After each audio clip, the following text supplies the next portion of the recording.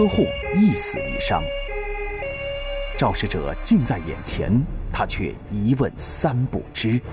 天又黑，他本来眼神就不好。作为唯一亲历者，他的证词却引发村民猜测：知道嫌疑人的身份，呃，而故意不告诉他们，是真没看清，还是有意隐瞒？肇事者究竟是谁？当线索一一中断，还能否还原真相？敬请收看传奇故事，近在眼前的模糊面孔。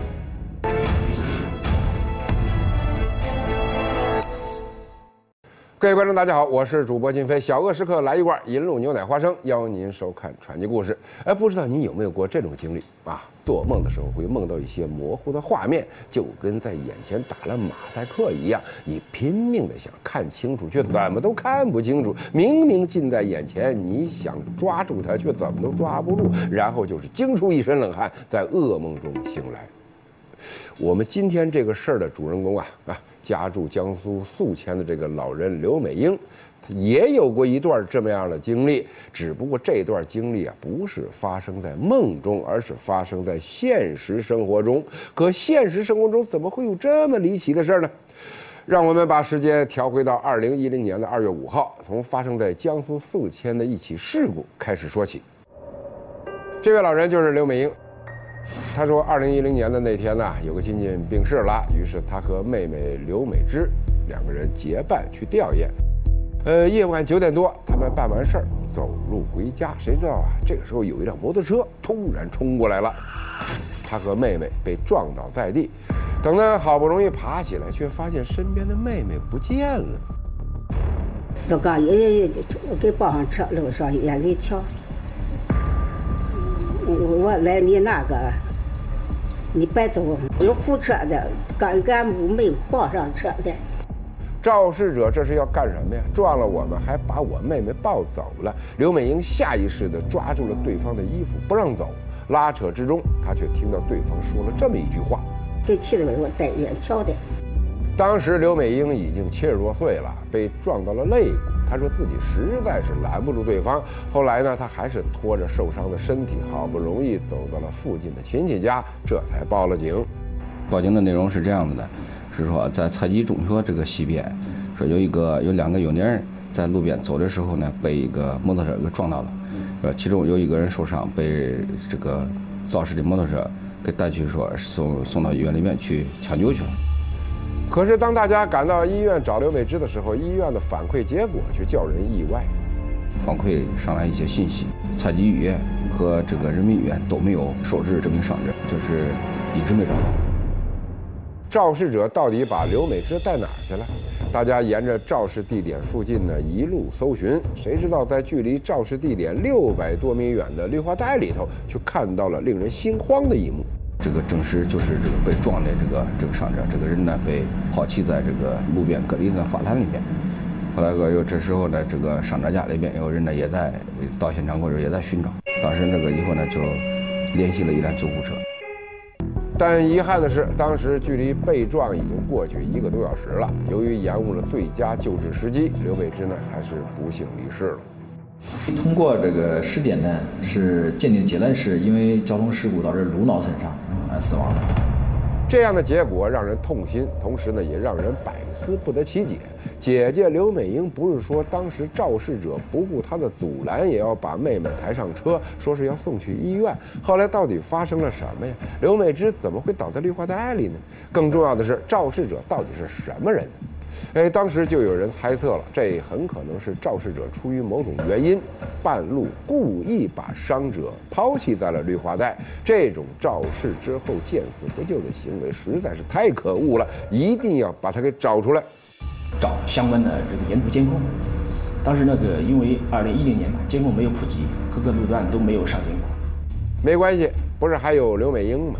他是目击者呀，而且还跟肇事者说过话，甚至还发生了拉扯。这么近的距离，他肯定看到了肇事者长什么样吧。哎，没想到刘美英却连连叹气，说当时摩托车突然撞过来了，她瞬间就失去了知觉，只记得她醒过来的时候，看到摩托车上下来两个人，正在把她妹妹往车上抬，她自己当时也疼得厉害，半趴在地上，只觉得眼前一片模糊，根本就没看清楚那俩人长什么模样。天又黑，他本来眼神就不好，他眼睛不好，耳朵也不听不清楚。他就只知道是两个人，嗯，但是说具体说是男的大的还是有什么特征，他记不清楚，嗯，因为我们都没在现场，人就在眼前，却看不清楚面孔，好吧，人没看清，那肇事车总看到了吧？是大摩托呀，还是小摩托呀？有没有车牌呀？再不济，什么颜色总知道吧？谁知道刘美英又摇头了，说当时她这脑子里很乱，只知道是摩托车两个人，其他真的什么都不记得了。呃，目击者一问三不知，那接下来该怎么办呢？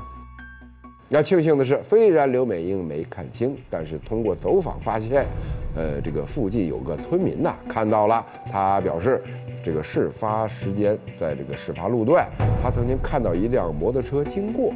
是红色的，大架子的一个有红色的这个摩托车。后来呢，过去我们又把侦查重点呢放在这类的这个这个这个车型上面。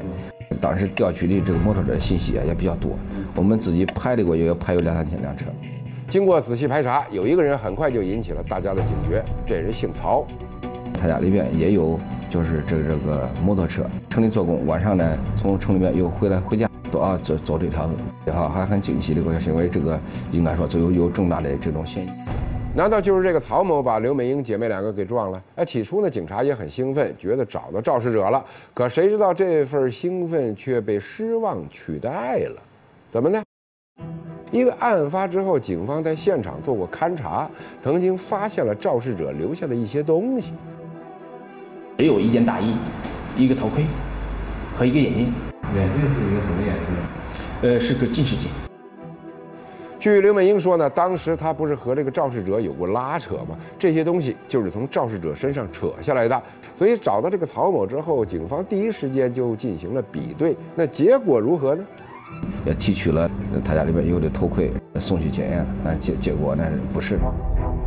这么一来呢，曹某的嫌疑就被排除了，案子一下子又回到了原点。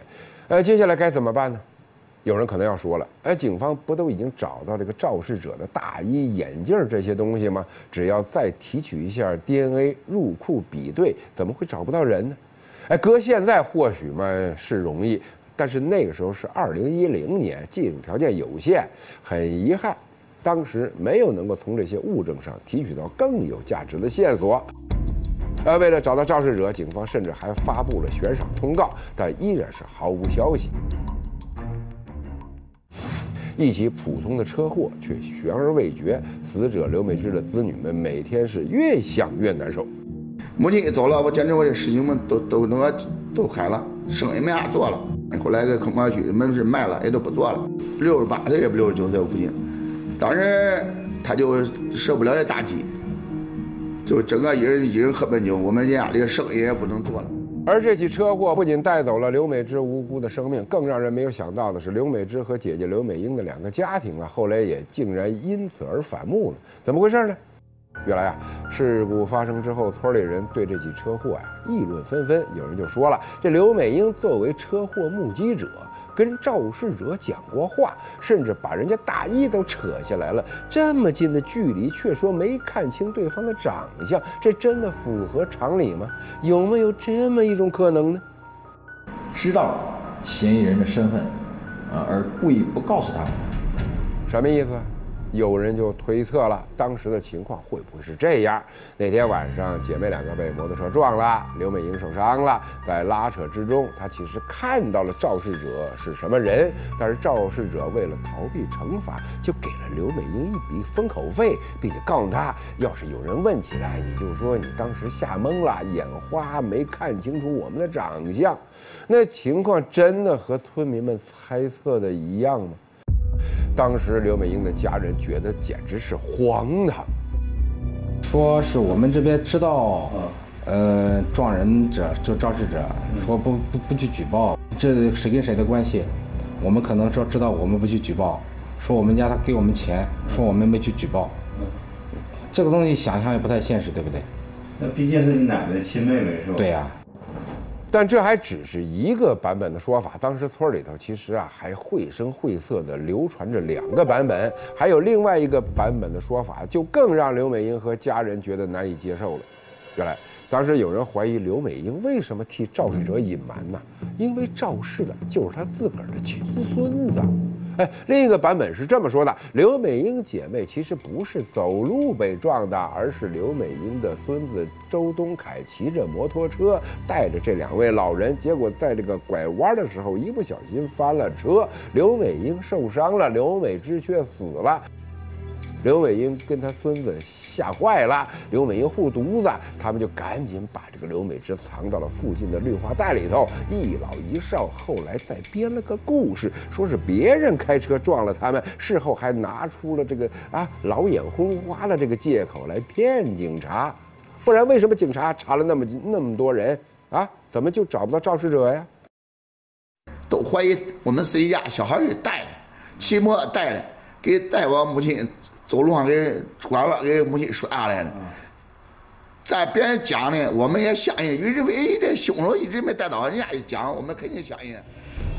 呃，就这种说法，刘美芝的子女们气得也去找过刘美英对峙过。可无论怎么问，刘美英似乎呢都是很委屈的样子。还是那句话，她当时真的没看清肇事者，真的什么都想不起来。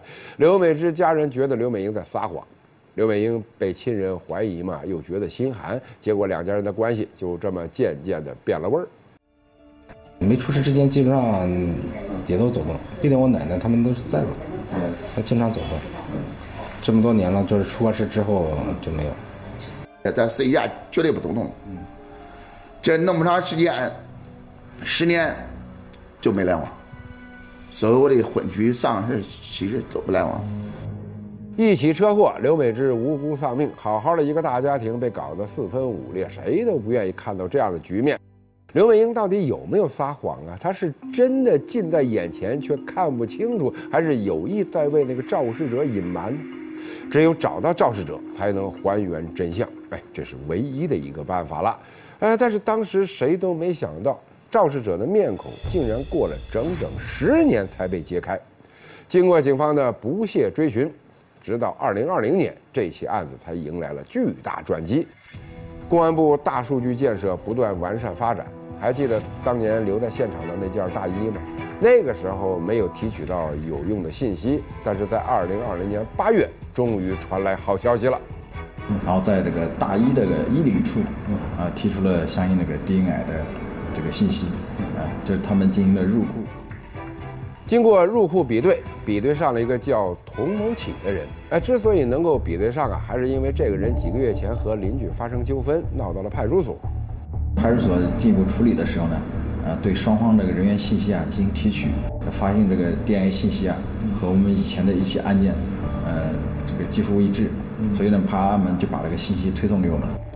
据了解，这个童某启七十岁，也是宿迁本地人，但是多年前呢，他已经移居到了南京生活。十年前的肇事者到底是不是他呢？警方却不敢完全肯定。仅仅靠这个大衣上面这个 DNA 是不可能完全确定这个嫌疑人的，因为这个衣服也有可能是其他过路人遗遗留遗失的，对吧？也有可能这个嫌疑人是借给别人使用的，对吧？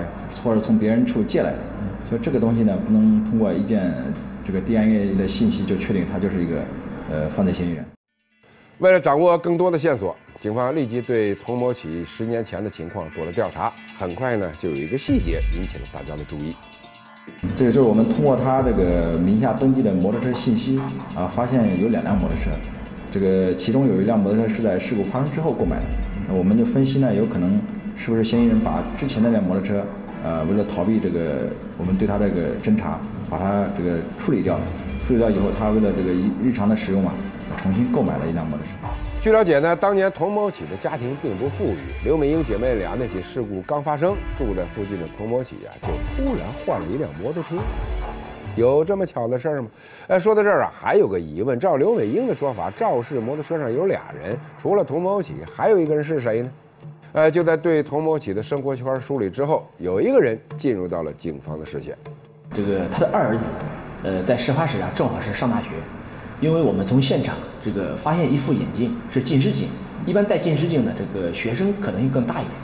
然后我们就分析啊，很有可能是童某起和他的儿子一起，在当天晚上这个肇事的时候是是是在在现场。这下综合一下这些信息，警方认为这起肇事逃逸案呢，应该就是童某起所为了。和他同行的就是他儿子小军。找了整整十年，终于有了突破，每个人都很激动，抓捕一触即发。可是面对突如其来的警察，童某起是满脸的震惊，说警方搞错了。刚开始他肯定是狡辩，是不承认的。他认为呢，不可能啊，我们公安机关是隔了十年之后还能查到这个案件的情况。那，后来呢，在我们一些相关的证据以及我们民民警不停做思想工作的情况下，啊，他最终还是承认了这个。肇事逃逸这个事实，和童某启不同的是，他的儿子小军呢，似乎早就料到了这一天。面对警察呢，没有遮遮掩掩，很快就老老实实交代了。那么，十年前那起车祸的真实情况到底是怎样的呢？据他们交代，事故呢是这样发生的：案发当晚，童某喜开摩托车带着儿子小军从城里回家，对面呢突然来了一辆大货车，那灯光很刺眼。他伸南旁嘛，不敢破，防止对面车碰到我。他灯光一射我呢，我都敢背一拿把呢，就撞到这个老老太婆了。撞到老太婆呢，我就都车都将歪倒了，这条右腿呢都压车底了。童某启的儿子小军下车查看，发现他们撞倒了两位老人，其中有一位老人嘛，似乎伤得比较重，他赶紧就叫父亲过来抬人。当时脑子里就第一反应，因为是老家嘛，比较熟悉，我想的是离残疾医院比较近，我说赶紧送医院，送残疾医院。可既然他们急着送刘美芝去医院救治，后来他们为什么又反悔了？要半道上把刘美芝抛在绿化带里呢？呃，还有刘美英当时到底有没有看清楚他们的长相，又有没有刻意为他们隐瞒呢？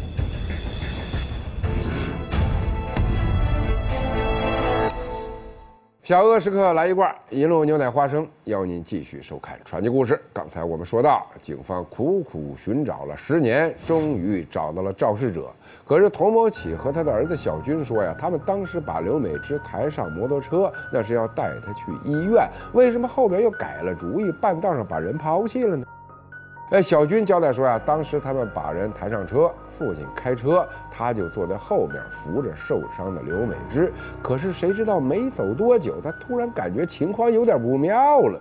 因为老太太身子已经发软往下躺，抱不住，当时也紧张，然后。